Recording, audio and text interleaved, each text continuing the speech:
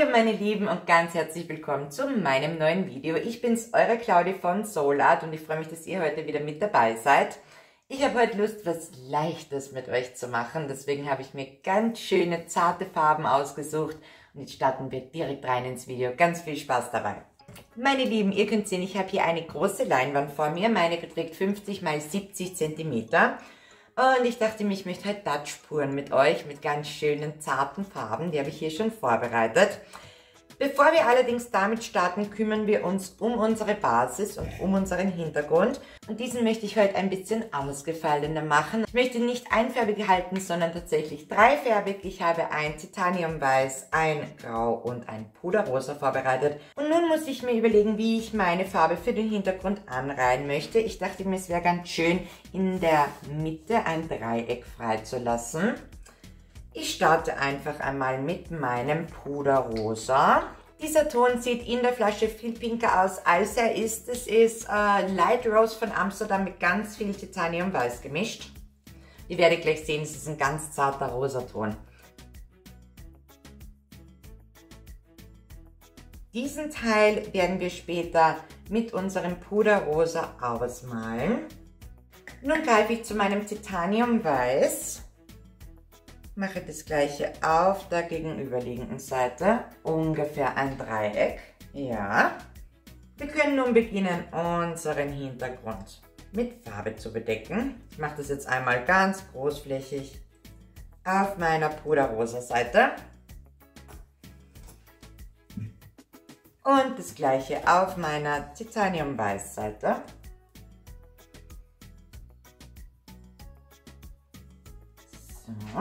Könnt nun gut erkennen, dass ich hier in der Mitte ein freies Dreieck habe. Dieses möchte ich mit grauer Farbe ausfüllen. Und auch hier, meine Lieben, das ist kein bestimmter Farbton. Ich habe Titaniumweiß und Oxidschwarz miteinander gemischt. Im Verhältnis 80 zu 30, 80% ähm, Titaniumweiß, 30% Oxidschwarz. Und dadurch bekommt ihr diesen schönen, kräftigen Grauton.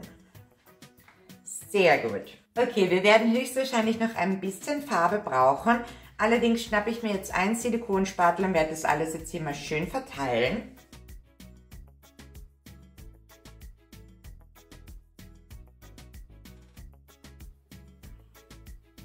Später werde ich das Ganze noch mit meinem Föhn ausblasen, aber dass ich erstmal eine grobe Form habe, an der ich mich später orientieren kann.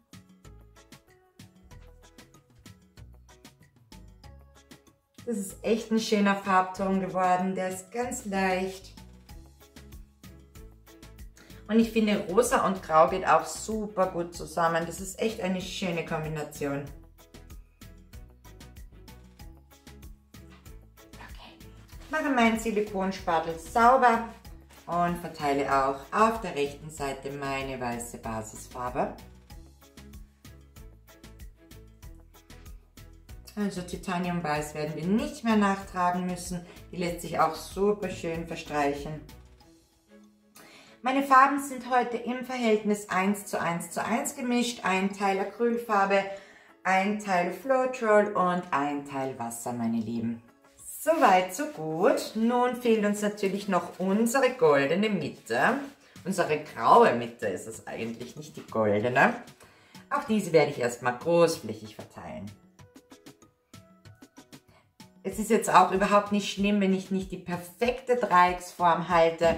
Ähm, wir werden später unsere äh, Blooms, unsere Dutch-Spur so positionieren, ähm, dass man nichts mehr von den Rindern hier sieht.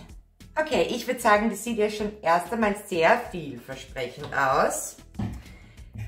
Bevor ich nun meine Puring-Farben auftrage, gehe ich einmal mit dem Brenner über das gesamte Bild, um etwaige Luftbläschen aufzulösen. Das geht auch ganz flott. Einmal grob mit dem Brenner drauf und schon verschwinden diese. Wunderbar. Okay Leute, für Stadtspur habe ich mir die Farben Gold, Kaminrot, Sonnengelb und Violettrot von Amsterdam zurechtgelegt. Nun muss ich mir überlegen, wie ich meine Blüten anreihen möchte und ich glaube, es wäre wirklich ganz schön, unser in der Mitte geschaffenes Dreieck auszunutzen. Ich verlasse mich mal auf mein Gefühl. Also ich starte mit Kaminrot, ziehe mir nun einen Streifen entlang der rosaroten Farbe. Ja, und das gleiche mache ich auch auf der gegenüberliegenden Seite zwischen dem Grau und zwischen dem Titaniumweiß. Die nächste Farbe, die ich verwenden möchte, ist Violettrot. Ich weiß, ich wiederhole mich, aber wer schon länger meine Videos schaut, der weiß, ich liebe diese Farbe. Das ist einfach so ein schöner Ton, zu dem ich immer und immer wieder greife. Aber so hat jeder seine Favoriten, oder? Okay, ich möchte noch ein ganz kleines bisschen Sonnengelb einarbeiten, in der Hoffnung, dass durch das Kaminrot und das Sonnengelb wir einen leichten orangenen Touch bekommen. Das wäre auch ganz schön. So. Und auch auf dieser Seite. Was natürlich, meine Lieben, nicht fehlen darf, ist ein bisschen 24K Gold.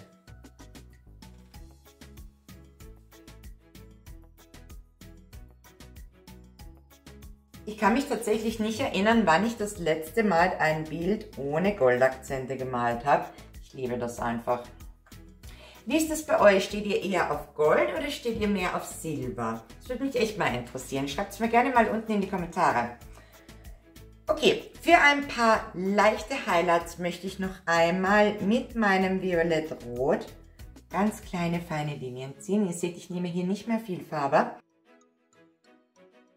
Allerdings wünsche ich mir noch ein paar Schatten.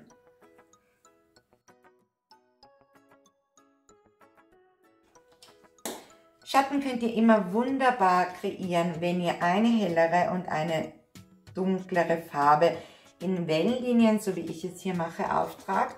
Allerdings braucht ihr hier wirklich nicht viel Farbe. Könnt da wirklich eurer Kreativität ein bisschen freien Lauf lassen. Ich finde das sehr schön.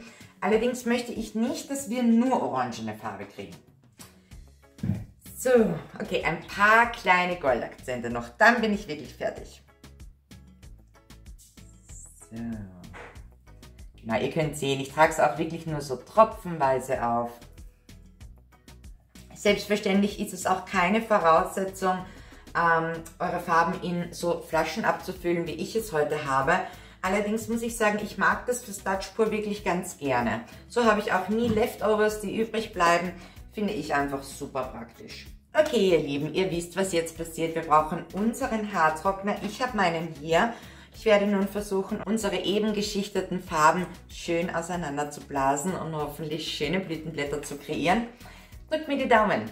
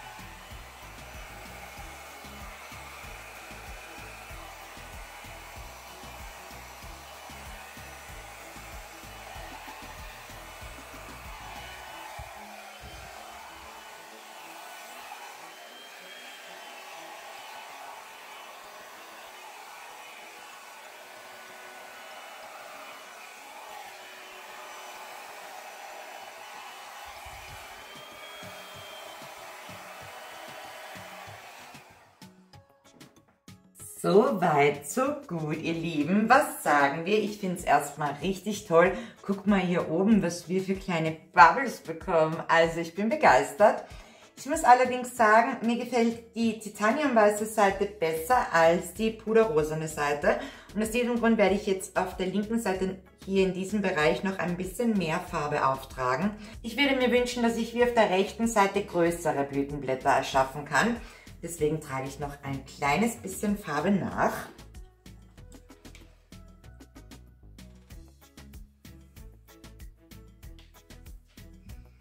Ich werde auch hier ein klein bisschen Titaniumweiß einarbeiten. So nicht viel, aber ein kleines bisschen. Noch ein bisschen Kaminrot natürlich. Der obere Teil hier, den finde ich schon wirklich perfekt, den möchte ich nicht mehr verändern.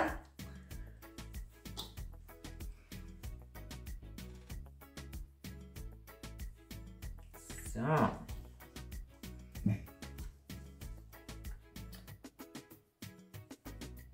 Wunderbar. Und noch einmal verblase ich das Ganze mit meinem Haartrockner.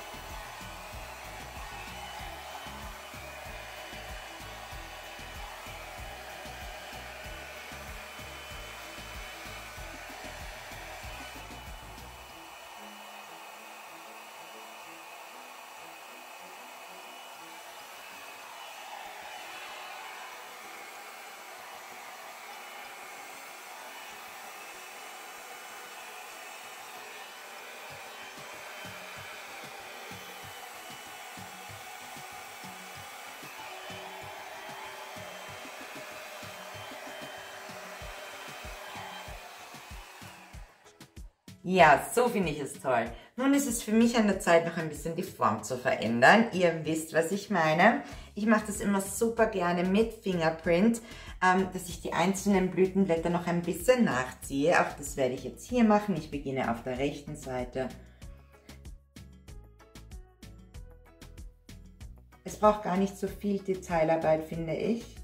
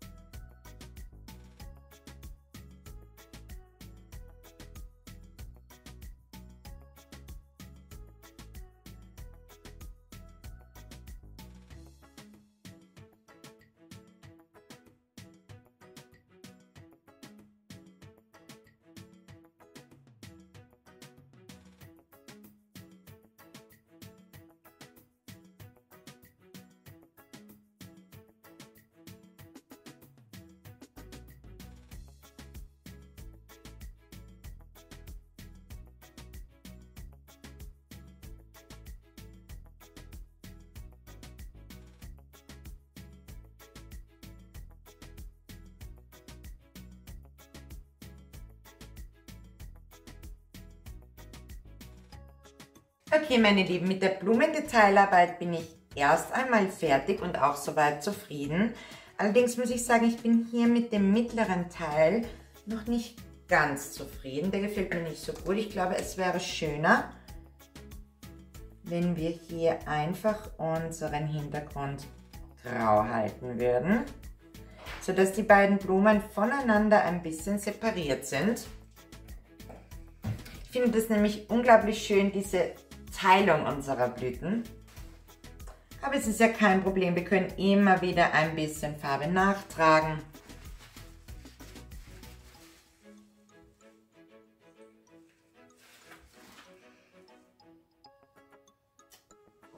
Und wir können auch hier immer noch ein bisschen unsere Form verändern.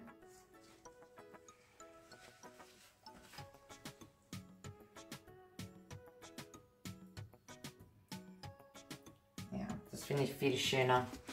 Ich finde, wenn wir hier oben so ein bisschen mehr negativen Raum schaffen, ähm, kommt die Position unserer Blüten einfach viel schöner zur Geltung. Meine Lieben, wenn ihr euch das nicht traut, hier nochmal mit flüssiger Grünfarbe drauf zu gehen, ist es überhaupt kein Problem. Ihr könnt auch euer Bild trocknen lassen ähm, und danach noch einmal mit trockener Acrylfarbe darüber gehen, um euch den gewünschten negativen Raum wieder zurückzuholen. Ich bin da ein bisschen schmerzfrei. Ich mache das gerne ähm, auch mit flüssiger Acrylfarbe. Allerdings ist natürlich schon ein bisschen Vorsicht angesagt. Aber meine Lieben, was ich euch an dieser Stelle wirklich gerne mitgeben möchte, ist, ihr dürft niemals vergessen, ihr könnt euer Bild immer wieder verändern, solange bis es wirklich für euch perfekt ist. Okay, für mich ist es perfekt. Ich bin fertig. Jetzt hole ich euch mal ein Stück näher ran und zeige euch die Details. Also, ich finde die puderrosene Seite wirklich schön, vor allem hier ähm, kann man ganz gut sehen, diese leichten Blütenblätter. Sie sind hier in der Mitte ein bisschen kräftiger und nach außen hin werden sie immer zarter. Hier oben haben wir ganz leichte Zellen, die sich gebildet haben. Auch ein Geschenk vom Acrylgott. Vielen Dank dafür. Die linke und titaniumweiße Seite gefällt mir tatsächlich noch ein bisschen besser. Ich finde dieser Kontrast zwischen den Rottönen und dem hellen Titaniumweiß ist einfach super. Und auch diesen Kontrast zwischen hell und dunkel finde ich wirklich toll. So ihr Lieben, also sagt mir mal, wie ihr es findet, ob es euch genauso gut gefällt. Also ich finde es wirklich sehr spannend. Wenn dem so ist, dann zeigt es mir doch bitte mit einem Daumen nach oben und wenn ihr nichts mehr von mir verpassen wollt, lasst mir doch ein Abo da. Für heute bedanke ich mich ganz herzlich fürs Einschalten. Es war mir wie immer eine Freude, mit und für euch zu malen. Bis zum nächsten Mal, meine Lieben. Macht's gut!